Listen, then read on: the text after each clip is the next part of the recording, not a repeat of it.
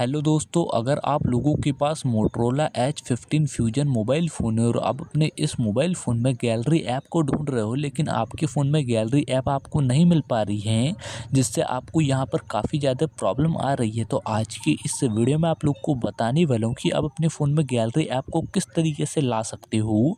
जैसे कि यहाँ पर मेरे फ़ोन में कुछ इस तरीके से जो गैलरी ऐप है, वो आ गई है और यहाँ पर मैं गैलरी ऐप का यूज़ भी कर पाता हूँ काफ़ी आसानी से।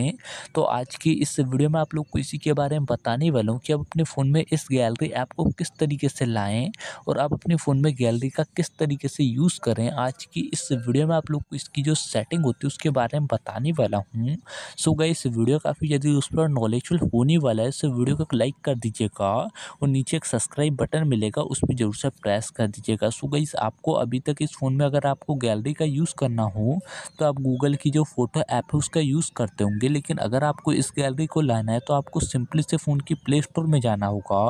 प्ले स्टोर में जाने के बाद आपको यहाँ पर सिंपली से गैलरी लिख के सर्च करना होगा। आप जैसी गैलरी लिख के सर्च करोगे तो आपको यहाँ पर कुछ इस तरीके से ये ऐप मिल जाएगी। और यहाँ पर काफ़ी सारे लोगों का डाउट होता होता है कि अगर इस गैलरी को हम डाउनलोड करेंगे तो हमारे फ़ोन में ऐड आएगी। तो गई ये जो ऐप है, इसे अगर आप अपने फ़ोन में डाउनलोड करोगे तो आपके फ़ोन में कोई, किसी भी तरीके से यहाँ पर ऐड नहीं आएगी। और काफ़ी बढ़िया तरीके से ये गैलरी आपके फ़ोन में आएगी।